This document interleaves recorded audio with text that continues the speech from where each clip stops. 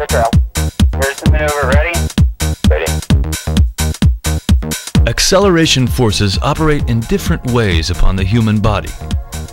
Acceleration can affect the body's cardiovascular, pulmonary, and neurological systems.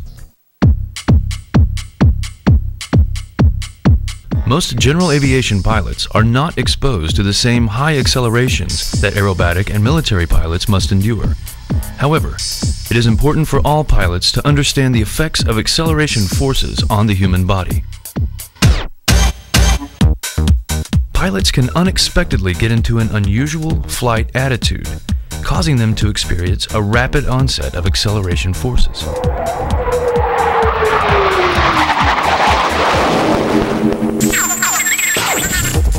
Speed is defined as the rate of motion. It is the distance one travels in a certain amount of time. Speed equals distance over time. Velocity is defined as the rate of motion coupled with the direction of travel. Velocity equals speed and direction. Acceleration is defined as a change in velocity per unit of time. It is produced when either speed or direction or both change. Acceleration is measured in feet per second squared or meters per second squared. The Earth produces a form of acceleration known as gravity. This affects everyone and everything on the ground and in the air. Acceleration produced by gravity is represented by a constant value of 32 feet per second squared. As an example, a free-falling object will increase its velocity by 32 feet per second for every second it falls.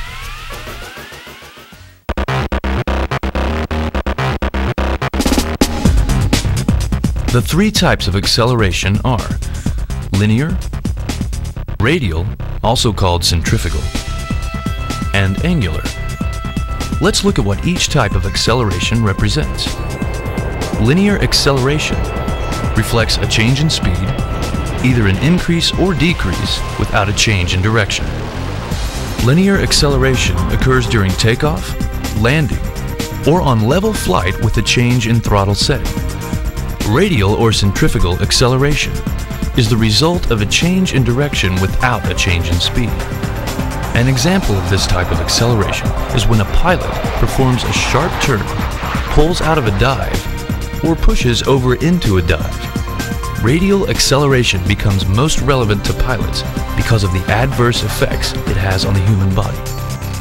Angular acceleration results from a simultaneous change in both speed and direction. This kind of acceleration takes place during a tight spin.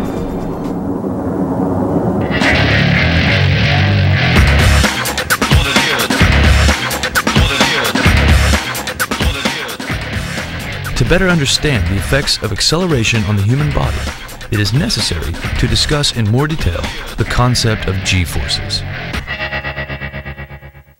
Inertial force is a result of acceleration produced by Earth's gravity.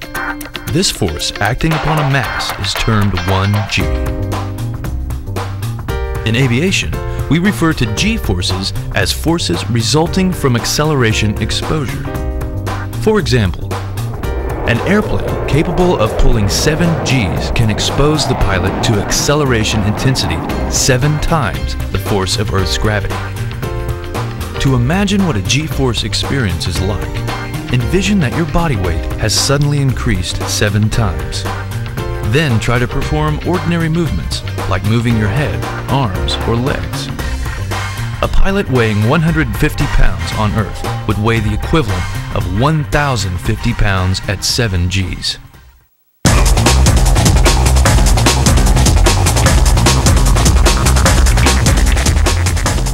The position of the body relative to the acceleration applied allows us to classify g-forces into three types, transverse, lateral, and vertical. A transverse g-force is also known as gx. It is the force applied to the front or back of the body. A positive transverse g, which is front to back, is typically experienced during takeoff and while increasing airspeed during level flight. A negative transverse G, which is back to front, is experienced during landing, in-flight air braking, and while decreasing airspeed during level flight. Transverse G accelerations affect the body's equilibrium system. Equilibrium originates from the inner ear, causing pitch up and pitch down illusions. These illusions are discussed in detail in the training module on spatial disorientation. A second type of G-force is lateral or GY. This is where the force is applied to the lateral axis of the body. Lateral Gs occur when a pilot is exposed to acceleration from side to side. Lateral Gs occur during a vertical roll, a rudder roll, an aileron roll, or an uncontrolled flat spin. The third type of G-force is vertical, or GZ. Vertical G-force is applied to the vertical axis of the body. A pilot exposed to this type of acceleration from head to foot experiences positive Gs. In contrast, negative Gs are experienced from the foot to the head.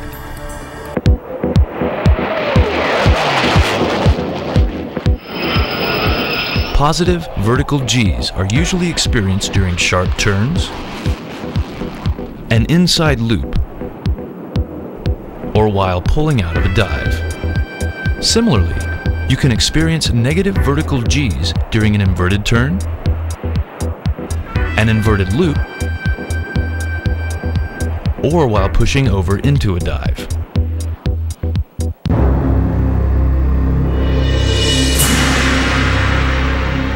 Vertical Gs, whether positive or negative, are potentially the most dangerous type of G forces because they can result in sudden pilot incapacitation during flight.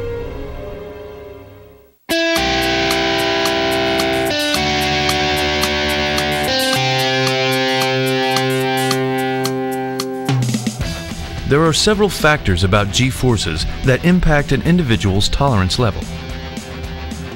Magnitude of the G-force is the number associated with the amount of G-force applied to the body. For example, a low magnitude G-force is more tolerable than a high one. General aviation pilots are rarely exposed to positive vertical Gs higher than 2.5 while fighter pilots are routinely exposed to 7 or more positive vertical Gs. Duration of exposure is how long a person has been exposed to a G-force. Short duration is more tolerable than long duration. Experiencing three positive vertical Gs for several seconds is not difficult for the average individual, but having to endure it for over 15 seconds becomes physically challenging. Rate of acceleration, known as the G onset rate, is measured in units of G per second. A slow or gradual G onset rate is more tolerable than a high G onset rate. Acceleration exposure from 0 to 7 positive vertical Gs at a rate of 1 tenth of 1 G per second is more tolerable than a rate of 1 G per second.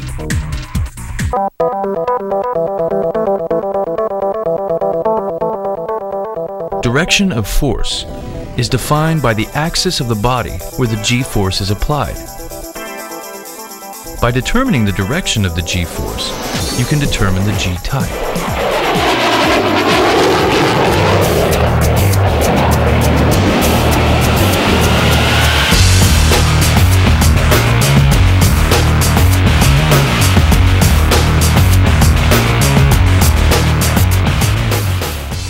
Exposure to vertical positive Gs can result in sudden in-flight incapacitation.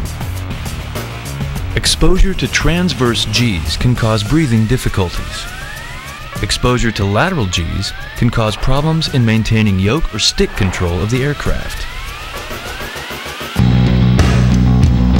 Now we go up to 90 in the other direction, a couple G's pulling back. Heart to eye distance. The greater the vertical distance between the eyes and the heart, the lower the individual tolerance of exposure to positive vertical Gs. In other words, the greater the distance between the heart and eyes, the more difficult it is for the heart to pump enough blood to the brain and eyes during exposure to positive vertical Gs.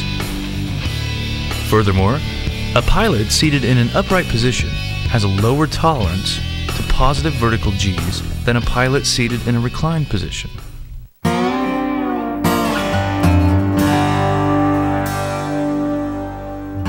Keep in mind that self imposed stress, such as fatigue, dehydration, and alcohol consumption, as well as cardiovascular and pulmonary medical problems, may decrease individual tolerance to G forces.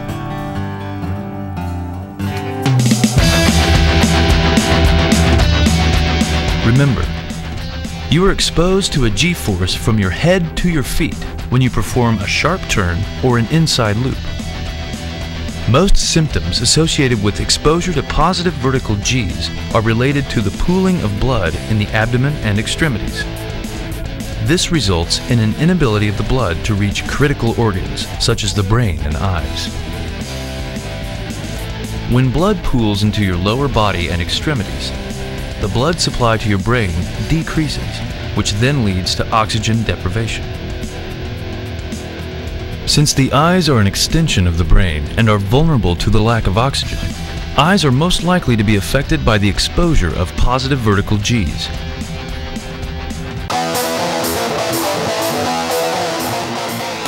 If the initial magnitude of the G force reaches about 4.1 positive vertical Gs, a condition known as grayout will occur. If you do not stop the ongoing flight maneuver at this point, Within a few seconds, you will experience a total blackout.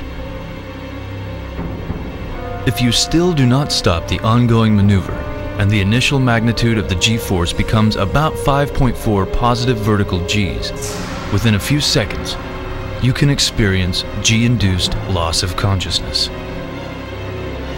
This is also known as G-LOC, which can result in losing control of the aircraft. Even if you recover from G-LOC, there is a period of amnesia and confusion that may occur for about 20 to 30 seconds. This can also result in impaired aircraft control, which can be critical if you are at low altitude. The progression of symptoms from grayout to blackout and then to G-LOC can occur very quickly depending upon the G onset rate. Having a high rate of 7 Gs per second one can experience G-LOC in about 4 to 7 seconds.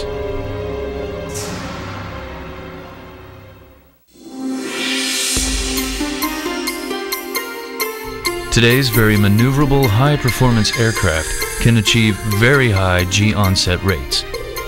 Unfortunately, this can result in sudden G-lock without any preceding visual symptoms. Other effects of exposure to positive vertical Gs include breathing difficulties, heartbeat abnormalities, motion sickness, muscular fatigue, and abdominal, arm, leg, and neck pain.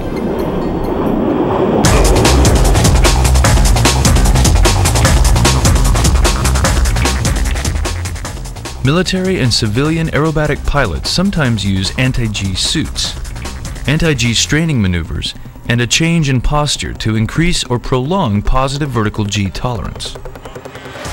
An anti-G suit consists of a series of air bladders attached tightly around the legs and the abdomen. These bladders automatically inflate during exposure to positive Gs. When inflated, the abdomen and legs are squeezed and the blood in the upper body is prevented from pooling in the legs. This enhances the blood flow to the brain.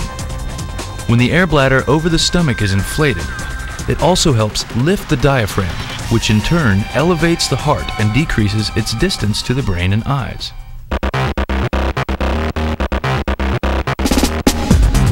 An important point to remember is that the closer the heart is to the brain, the less the heart has to work to keep blood pumping to the brain. This explains why short-statured pilots have greater tolerance to positive vertical g-forces than taller pilots.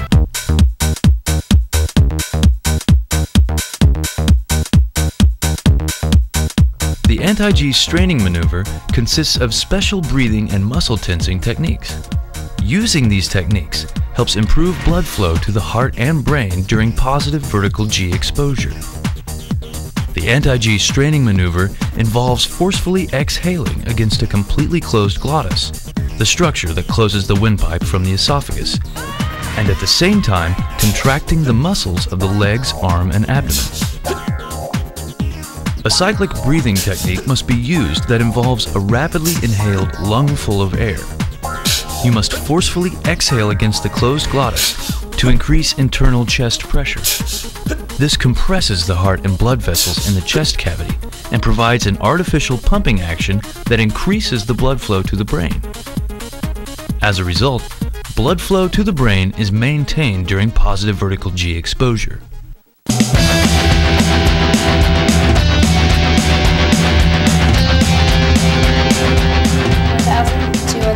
Three 1,000.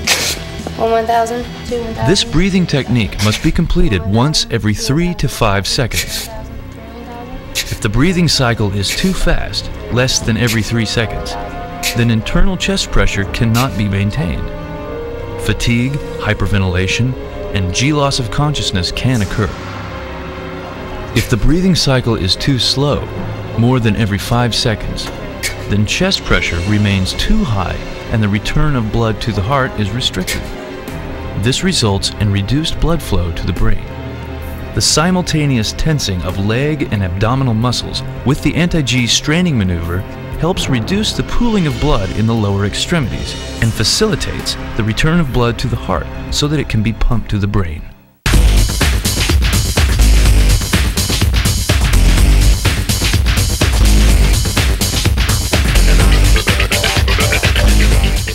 The anti-G straining maneuver is physically fatiguing because it requires the use of body muscles. You should prepare yourself for this activity with a well-rounded physical fitness program that incorporates weight training to help the strengthening of contracting muscles.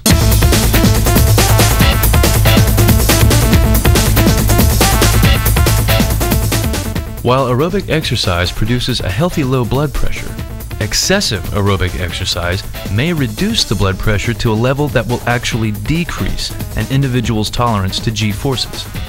Refer to the Physical Fitness Training module for a well-rounded physical fitness program.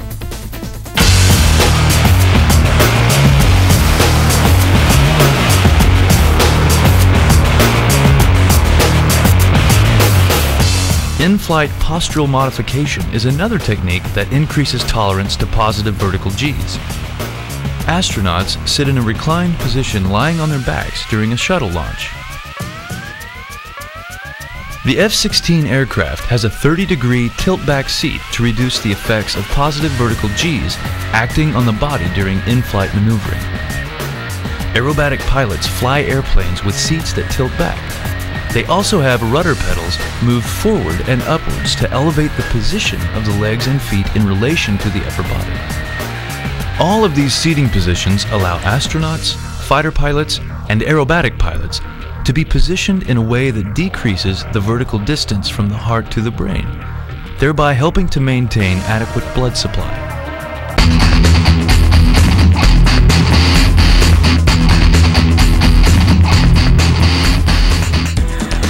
Human tolerance to negative vertical Gs is lower when compared to positive Gs.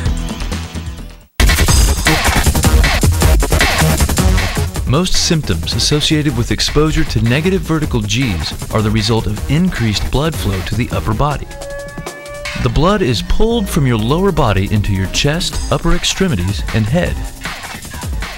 The symptoms are similar to those experienced when your body is in an upside down position but the severity of such symptoms is much greater. The most common symptoms of exposure to negative vertical Gs include sensation of weightlessness, sensation of congestion or fullness of the head and face, swelling of the face, headache, bleeding from the small blood vessels in the white parts of the eye, eye discomfort or pain, and mental confusion. The term redout is sometimes used to describe what a person sees in a negative vertical G environment. This has nothing to do with blood in the eye. Although there is not much research on this topic, Most physiologists believe that the lower eyelids cover the eyes during the negative vertical G, and what you see is the light through the eyelids with a red tint.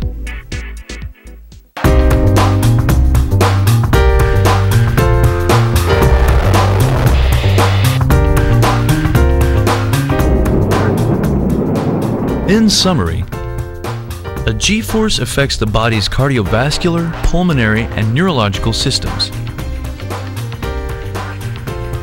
The basic concepts of speed, velocity, and acceleration can help you to better understand G-forces. The three types of acceleration are linear, a change in speed but not direction, radial, a change in direction but not in speed, and angular, meaning there is a simultaneous change in speed and direction. There are three types of G forces that have a significant impact on the body. Transverse Gs, defined as the acceleration force applied along the front to back axis of the body. Lateral Gs, defined as the acceleration force applied along the side to side axis of the body. And vertical Gs, defined as the acceleration force applied along the head to foot axis of the body.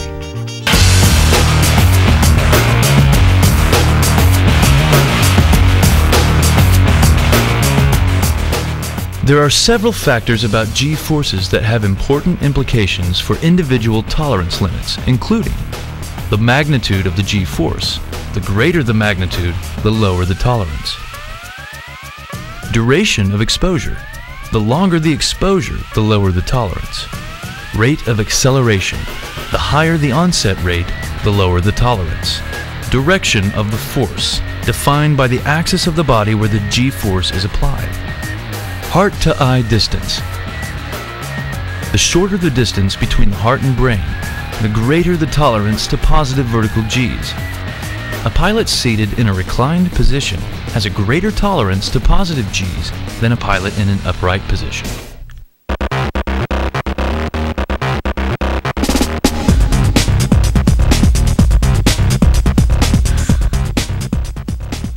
While most general aviation pilots will not be exposed to high G forces, it is important for all pilots to understand the cause and effects of G forces on the human body. Having a better understanding of acceleration in aviation can make for a safer, more responsive flight.